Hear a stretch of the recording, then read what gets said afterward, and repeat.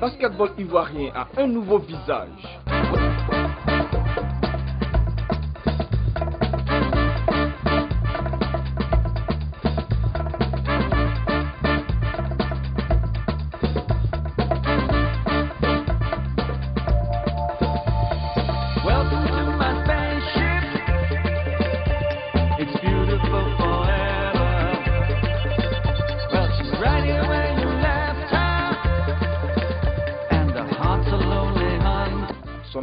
Omer You.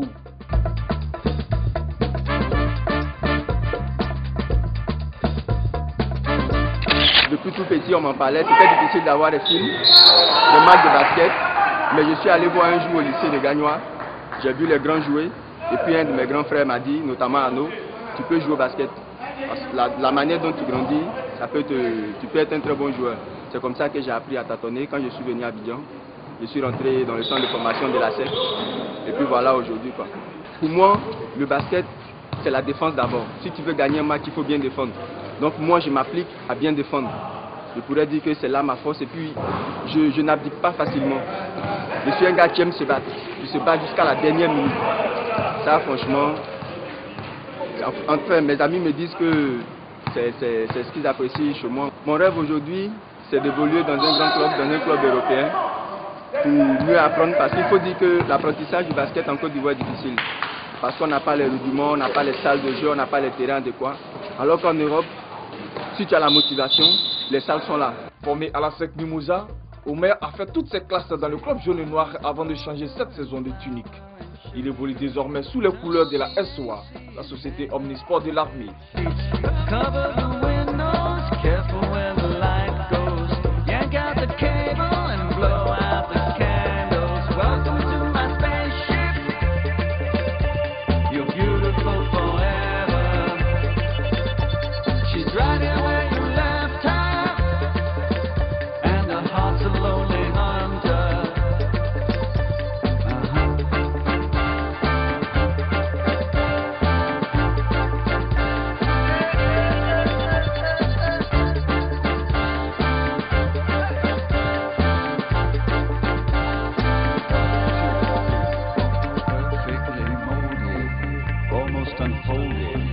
Under the counter. Well, that is your nature. Rib grind or roasted, buttered or toasted. The greater the BE, the higher the AC.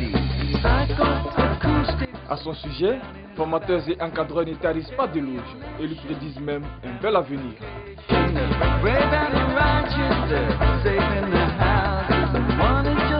Je l'ai eu depuis cadet. C'est un enfant qui est très combatif, il était beaucoup défensif. Donc je l'ai toujours utilisé à cause de sa défense. Bon, de cadet, junior, jusqu'à un espoir, c'est sa défense seulement que je regardais. Bon, quand je l'ai fait monter en senior, il fallait le rendre offensif. Il fallait l'amener avec un basketteur complet.